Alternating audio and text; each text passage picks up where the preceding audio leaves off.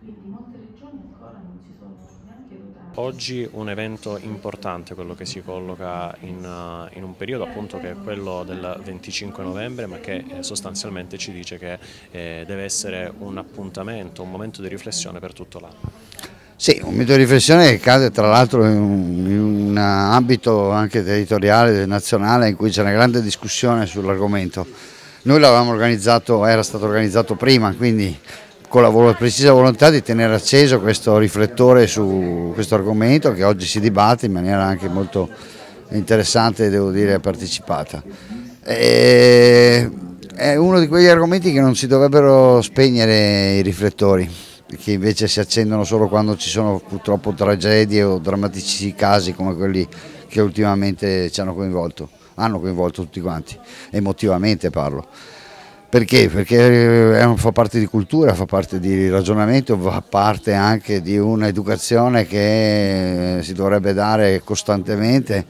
ma soprattutto di raccogliere segnali che vengono dal vicino, dalla persona che hai come amico o parente o, o anche semplice conoscente. E qui si devono innestare poi professionalità che sono interventi delle forze di polizia o della magistratura o del, degli assistenti sociali che possano poi fare squadra. Se manca però l'informazione, se manca l'attenzione, se manca la cultura, se manca la sensibilità nei confronti di questi argomenti, purtroppo succederanno sempre le tragedie. Dobbiamo imparare tutti a adeguare linguaggi, metodi, modi e anche professionalità da mettere in campo. E anche oggi eh, piangiamo donne vittime. Eh, Oggi questo oh, convegno si eh, va ad incastonare in, questi, in, queste celebrazioni importanti. Sì, è molto importante perché eh, quest'oggi non soltanto ci sono poliziotti, ci sono tutti gli operatori del settore, abbiamo avvocati, abbiamo assistenti sociali, abbiamo psicologi, eh, abbiamo anche persone che appartengono alle altre istituzioni.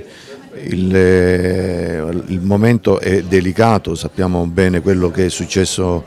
uh, pochi giorni fa e, e, abbiamo appreso con grande, eh, diciamo, con grande soddisfazione il fatto che eh, la Camera del Senato all'unanimità abbia approvato questo disegno di legge che eh, per un verso introduce misure nuove, per un altro verso rafforza quelle esistenti.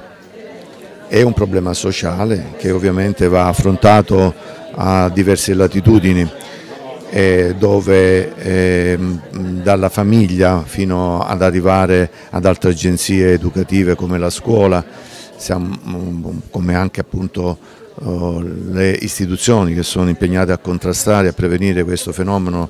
eh, e quindi la magistratura, le forze dell'ordine, sono tutte chiamate alla massima attenzione. Un convegno come questo serve a riflettere su questa problematica ma serve anche ad migliorarsi attraverso il confronto. Appuntamento importante quello che si svolge oggi qui a Catanzaro che precede poi quella che è la giornata contro la violenza sulle donne. Per eliminare la violenza sulle donne e in un periodo anche abbastanza particolare per il nostro paese. Il governo porta avanti anche un uh, decreto legge che già era stato avviato l'iter per l'approvazione. Oggi in questi giorni ha trovato l'unanimità da parte delle forze politiche che siedono in Parlamento. Una giornata importante voluta dall'FSP, sindacato di polizia ovviamente insieme all'associazione Astarte che pone dei temi molto importanti ma pone soprattutto in essere secondo me quella sottolineatura di un decreto che ha visto ieri la luce con approvazione all'unanimità al Senato rispetto al femminicidio. Non è stata ovviamente l'onda emotiva della brutta e dolorosissima pagina di Giulia Cecchin ma un lavoro di mesi che ovviamente aveva nelle proprie corde la volontà di rafforzare già un importante strumento come quello del codice rosso attraverso ovviamente ulteriori possibilità che vanno al braccialetto elettronico, alla sorveglianza per le vittime piuttosto che all'arresto differito piuttosto che alla possibilità da parte del questore di poter diffidare in tempi molto più brevi, la possibilità per la magistratura di stare nell'arco di un certo tempo per prendere delle decisioni, figure professionali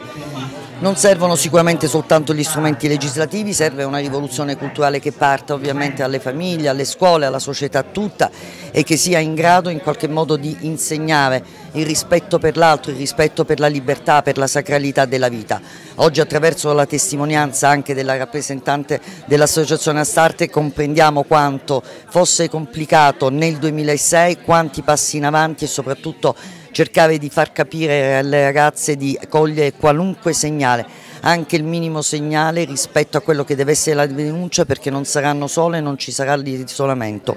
Sottolineo anche 20 milioni in più di euro rispetto ai centri antiviolenza nella manovra finanziaria, proprio a sottolineare che lo Stato appoggia queste donne, che non le lascia isolate e soprattutto che c'è la volontà di prendersene cura. Astarte e FSP Polizia oggi portano uh, qui presso il uh, polifunzionale appunto della Polizia di Stato un importante evento che si colloca appunto in un momento anche abbastanza particolare per il nostro paese ma è un momento che riguarda praticamente tutti gli anni, ogni mese, ogni giorno. Esatto, per noi questo è un posto eh, familiare in quanto ci veniamo spesso, proprio nel momento in cui accompagniamo le ragazze che comunque si rivolgono a noi. Tra l'altro la questura è il posto più vicino proprio come sede dell'associazione, quindi ci vede frequentemente presenti e tra l'altro è anche vicino all'ospedale, quindi nel momento in cui soccorriamo le donne vittime di violenza, il passaggio eh, in questura è quasi automatico, quindi questo posto è abbastanza familiare per noi. Diciamo che questo è un periodo particolare, non solo perché è il 25 novembre, quindi la giornata internazionale per l'eliminazione della violenza sulle donne, eh, ma soprattutto per eh, gli eventi di cronaca che in questi ultimi giorni insomma, ci hanno fatto ascoltare delle cose eh, chiaramente molto brutte che appunto sono quelle che si riferiscono a Giulia Cecchettin. L'inizio è l'approvazione di una legge. Io penso che ancora ci sia tanto da fare. E noi ci troviamo eh, tutti i giorni a combattere eh, ed avere delle difficoltà oggettive nel nostro lavoro perché poi ogni volta si ripresentano dei casi nuovi. Noi quest'anno ad esempio abbiamo seguito molte donne che subiscono violenza dai propri figli. Questo è un tasto che purtroppo stiamo toccando in una maniera molto notevole, abbiamo avuto numerosissime, numerosissime richieste e quindi eh, stiamo eh, cercando di eh, specializzarci eh, proprio per quanto riguarda questa, diciamo, questo, questo argomento. La violenza di genere nel contesto familiare lo, racconta lo raccontava all'interno della sua uh, tesi di laurea, oggi è divenuto un argomento uh, centrale che va portato avanti non solo in questi momenti, in questi periodi particolari come quello che sta vivendo il nostro Paese, ma tutti i giorni. Eh, sì, è un argomento che io eh, affronto nella mia tesi proprio perché dedico la mia tesi a mia madre, un'altra donna vittima di femminicidio. Io sono una vittima assistita, quindi posso raccontare la sua voce dare voce non solo a lei ma a tutte le donne che ancora oggi subiscono violenza oppure ad altre donne che comunque non sono riuscite diciamo, a, a farcela. Eh, nella mia tesi appunto parlo non solo del femminicidio ma anche della violenza di genere perché proprio oggi la donna viene, visto, viene vista come un oggetto, un oggetto da possedere ma questo è una deontologia sbagliata, un messaggio sbagliato che la società manda, quindi bisogna partire dalla base, dalla base di educare i bambini bambini sin da piccoli a, a non dover eh, limitare niente e nessuno. Quindi io mi auguro che chi mi ascolta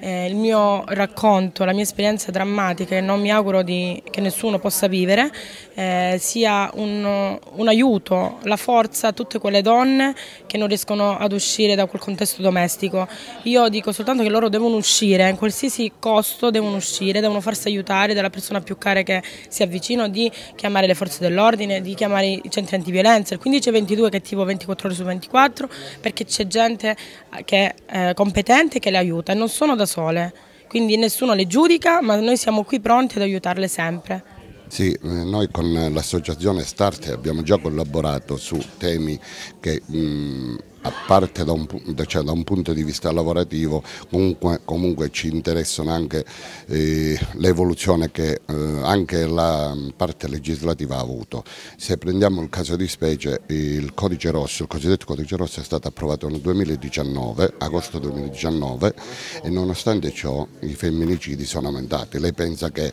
il, eh, nel 2022 sono stati 104 a novembre di quest'anno siamo già a 106 con l'ultimo caso che è, è, quello di Giulia Cecchettin che porta ancora più attuale questo tema. Quindi da un punto di vista sindacale abbiamo ritenuto opportuno affrontare eh, e mm, e discutere, analizzare questa problematica anche dal punto di vista legislativo perché per poter eh, contrastare questo tipo di violenza credo che si debba fare rete, eh, rete per le, con gli, le associazioni da un punto di vista di supporto psicologico e degli operatori di polizia e anche su un aspetto tecnico su come approcciarsi perché la, il, la prima problematica è l'approccio alla vittima, quindi farla sentire sicura e quindi denunciare che è la cosa principale, non sottostare a questo tipo di violenza e denunciare sempre.